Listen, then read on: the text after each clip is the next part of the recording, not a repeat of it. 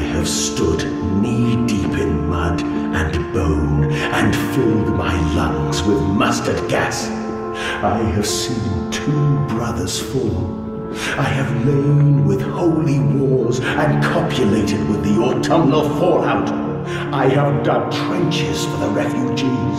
I have murdered dissidents where the ground never thaws and starved the masses into faith. A child's shadow burnt into the brickwork. A house of skulls in the jungle. The innocent, the innocent Manders trod and bled and gassed and starved and beaten and murdered and enslaved. This is your coming century. They will eat the Manders. They will make pigs of you all, and they will bury their snouts into your ribs, and they will eat your hearts.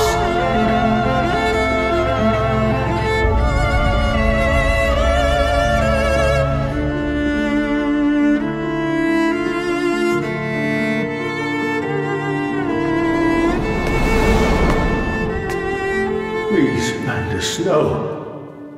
For your children.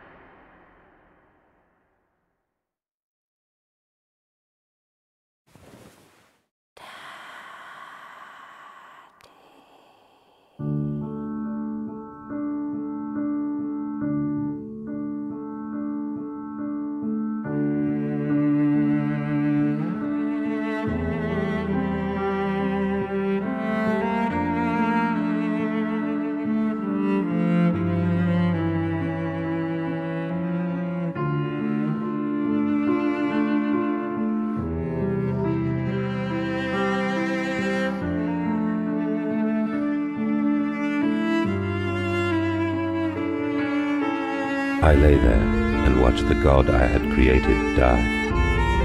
At the end, when we were cold as the stone we had hewn his body from, when the lights were nearly all extinguished, we heard, in the silent distance, the man-pigs singing to one another.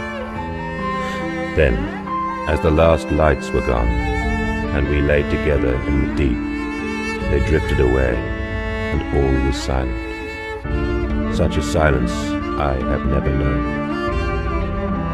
And as the dust settled on my open eyes, and we lay together embraced forever, I heard, miles above us, the sounds of the city turning over in its sleep. A church bell ringing out. And in that moment, the new century was born.